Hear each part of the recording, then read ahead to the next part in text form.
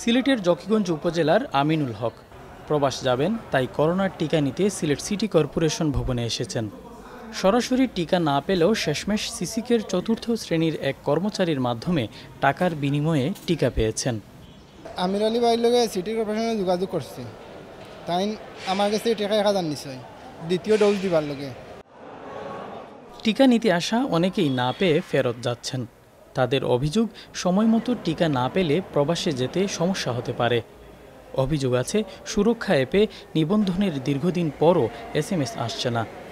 তবে কিছু অসাধু কর্মচারীর যোগসাজশে টাকার বিনিময়ে মোবাইলে এসএমএস পাচ্ছেন অনেকে। আমার মেসেজ আসছে ষোলো তারিখ। আমি আজকে আসছি আওয়ার পরে ওই যে ঠিকানাই নাই তারা বলতেছে। আমার প্রবাসে যাব আমার খুবই প্রয়োজন ইমার্জেন্সি তো হেরা বলছে যে পাঁচ দিনের ভিতরে মেসেজ পেয়ে যাবেন। আজকে পাঁচ দিনের জায়গায় আজকে প্রায় বিশ দিন হয়ে যেতেছে এখনও মেসেজ পাইনি। আমরা খবর পাইছি একশো টাকা দিলে দিন মেসেজ দিবা। লাইনে দাঁড়ানো আছে লোকজন সকাল থেকে কেউই কাগজ দিতে পারছে না সবার হাতে কাগজ। আর ওরা বলছে যে লাইনে নাকি সকালে এসে সবাই দিয়া দিচ্ছে কাগজগুলো। কিন্তু এগুলো সম্পূর্ণ ভুল ভুয়া এবং মিথ্যা। কইরা যে টিকা এখনও সেকেন্ড ডোজ শুরু হয়ে গেছে ফার্স্ট ডোজ দেওয়া বন্ধ। আবার অনেকে দেখি আর ফার্স্ট ডোজ দিয়াও যেটা আমার মেসেজ পাই না যে দুই মাস হয়ে গেছে গা। তার জন্য আমি আসছি জায়গায় মেসেজ পাওয়ার জন্য।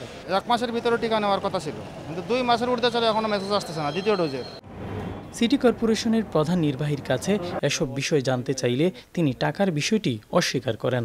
তবে লিখিত অভিযোগ পেলে ব্যবস্থা নেয়ার আশ্বাস দেন তিনি। এটা সত্যি যে এস এম এস যথাসময়ে পাচ্ছে না এটার একটা কারণ আছে। আমাদের যে লুকোবল যেটা এটা সীমিত। এখানে অর্থের বিনিময়ে এস এম এস প্রদানের বিষয়টি সঠিক নয়। প্রশ্নই আসে না। আমি এই ধরনের অভিযোগ কখনো শুনি না এই প্রথম শুনলাম আপনার কাছ থেকে। অভিযোগ হলে আমি ব্যবস্থা নেব আমরা। সিলেট সিটি কর্পোরেশন এলাকায় বিরাশিটি কেন্দ্রে প্রতিদিন গড়ে বাইশ হাজার টিকা দেয়া হচ্ছে। এ পর্যন্ত প্রায় দুই লাখ নয় হাজার মানুষ টিকা গ্রহণ করেছেন। সিলেট সিটি কর্পোরেশন ভবনে করোনার টিকা নিতে এসে হরহামেশাই হয়রানির শিকার হচ্ছেন সাধারণ মানুষ।